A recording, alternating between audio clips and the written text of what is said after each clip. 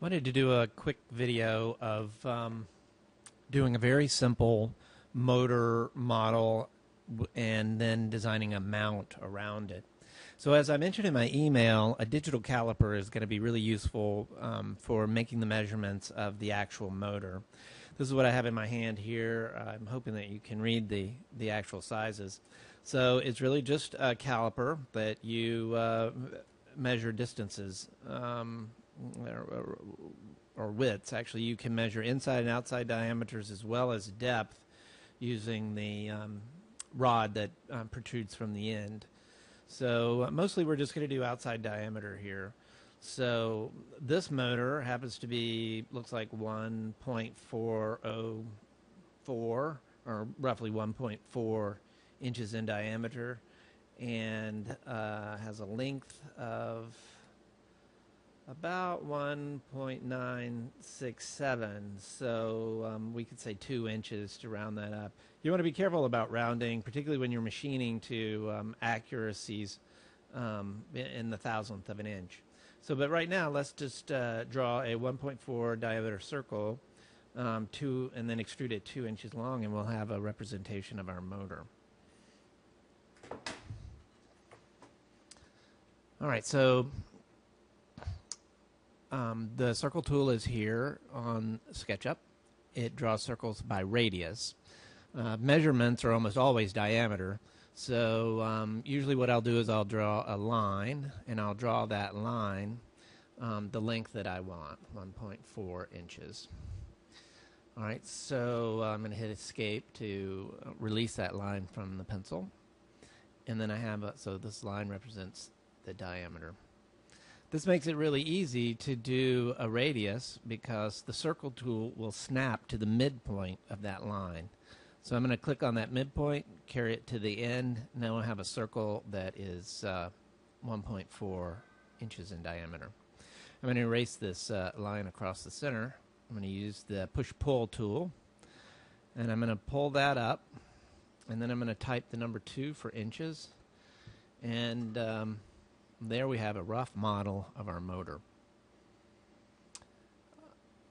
Right now, this motor is a series of lines and uh, surfaces.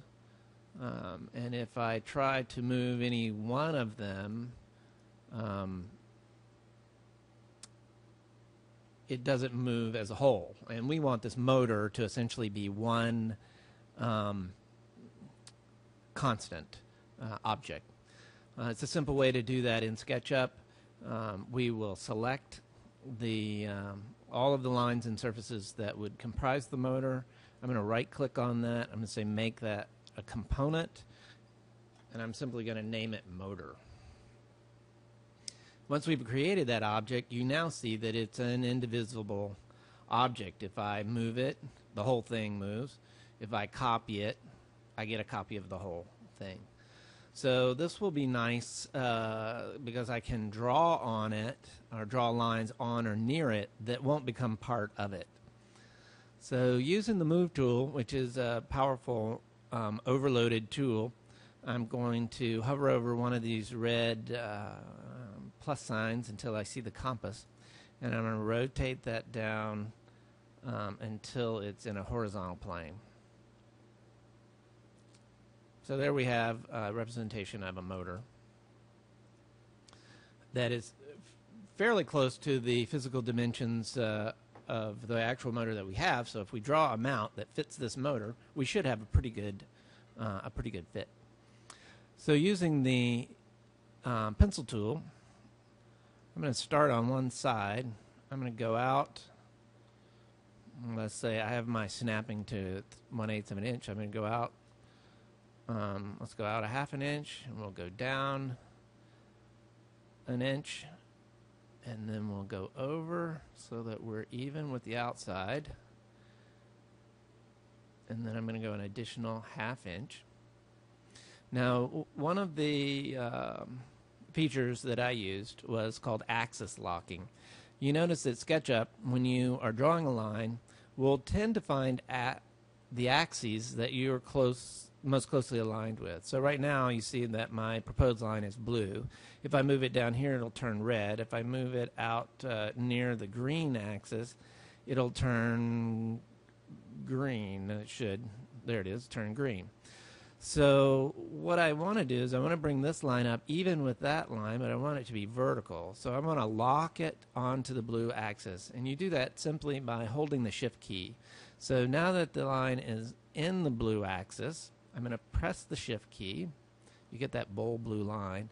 Now as I move my pencil, the line I'm going to draw is going to be locked to the blue axis. So I want this line to be equal to the length of this line and then I want it to come over and touch the side of the motor. Hit escape to uh, complete that line. So now we have the outline of the base of a simple motor mount. We need to complete this outline by drawing uh, the semicircular line um, around the bottom of the motor. So I'm going to use the circle tool for that. And I'm going to use SketchUp inferences to find the center of the circle. I'm going to hover over a point on the edge of the surface of the circle for two or three seconds, and then I'm going to move toward the center, and you'll see that the circle tool will pop or snap to the center. So I'm going to click to start the circle. I'm going to go over to the side and click to finish it. So now I have a complete circle that completes the mount. I don't really need this top part here. So um, that's easily uh, deleted. But I wanted to show you how you can manipulate this um, separately from the motor. Now that we have that contour, um, we don't necessarily really need the motor anymore. We could just delete the motor, but we might need it later. So I'm going to move to the select tool. I'm going to triple click to select all connected geometry. I'm going to use the move tool to move it and I want to make a copy so I'm going to press the control key once and you'll notice that I get a plus sign on my move tool so now I'm going to click and I'm going to move a copy over like so.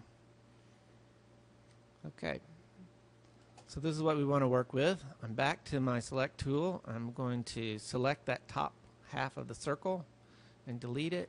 Now we have um, a profile that will work um, fairly nicely for a simple mount for that motor.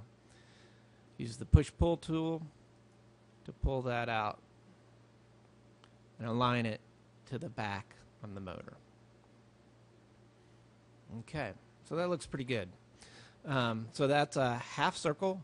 So if we had another one just like this, we could put it on the top half and then uh, create a way to fasten them together, and uh, we'd be able to um, tighten the motor down between the two halves.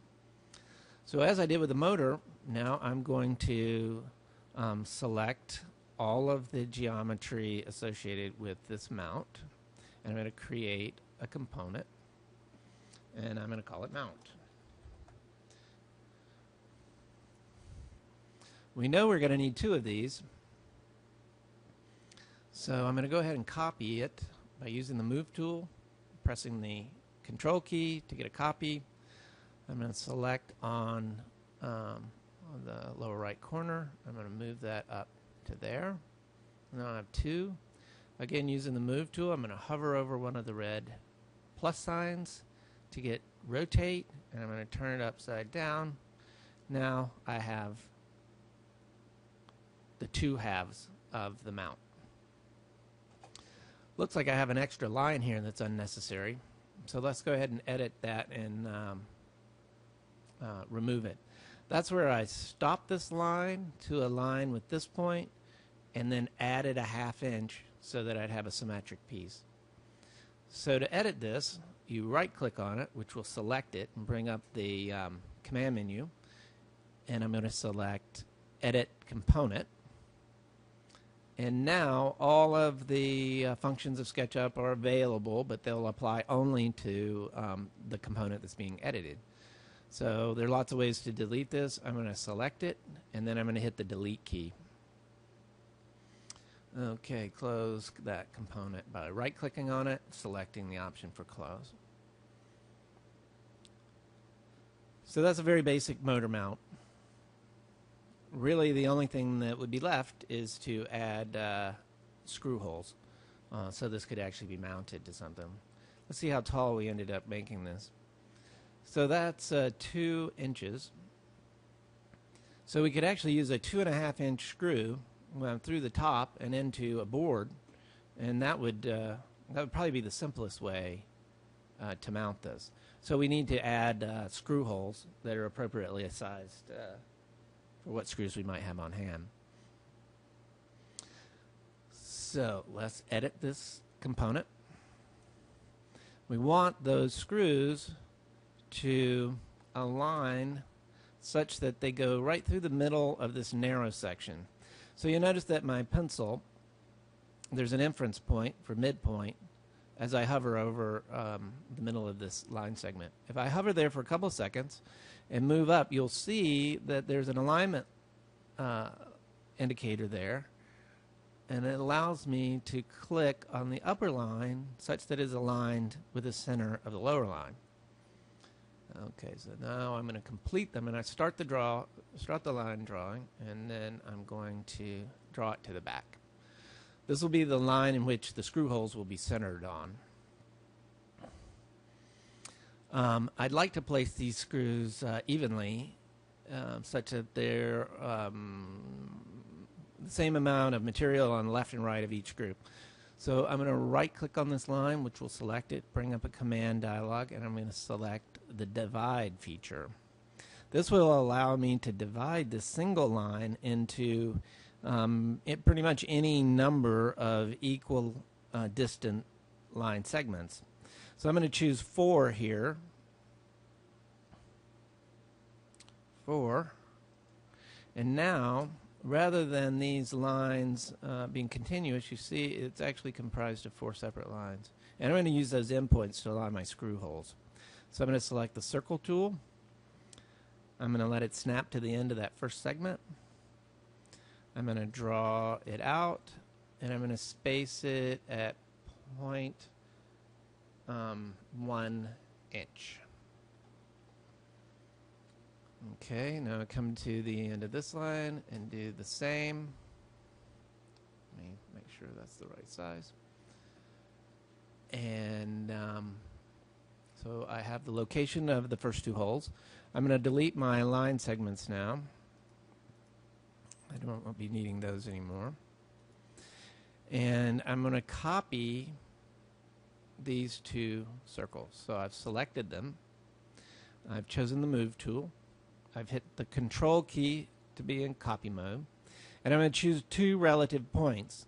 Um, a point for which the move starts and a point for which the move finishes. So if we go back to here, we know we want those holes to line up with the center of this narrow section. That's where we drew the first one. So that'll be our start point. Now then, you can see I have two circles that I'm moving around, and where I want them to be aligned is with the center of the opposite narrow segment. So wait till it turns blue, it'll say midpoint, and I'm going to click. So there I have my four um, screws, screw hole locations. Using the push-pull tool, I'm going to push this hole down till it's uh, um, even with the bottom, which will perforate, um, perforate it. And then uh, the push-pull tool will remember the dis distance of its last push or pull, so I can just double-click on these other surfaces to get those pieces to go through. So now, um, in its most simplest form, that mount should be complete.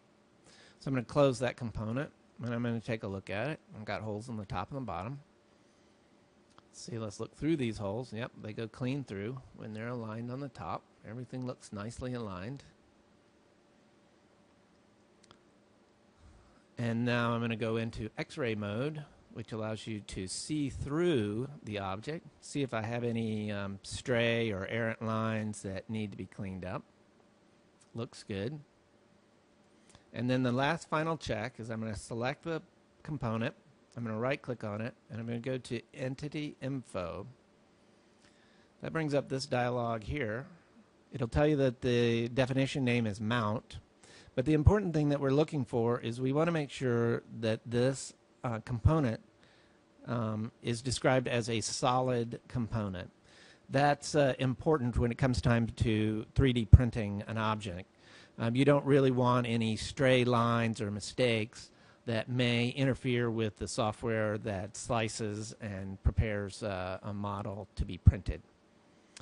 So um, this was a lot longer than I had hoped it would be, but it's a simple uh, motor mount. It would uh, work completely uh, effectively.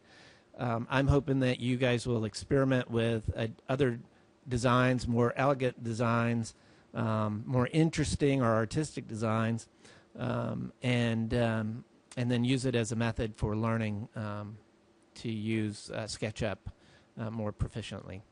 So anyway, there you have it. I hope that helps.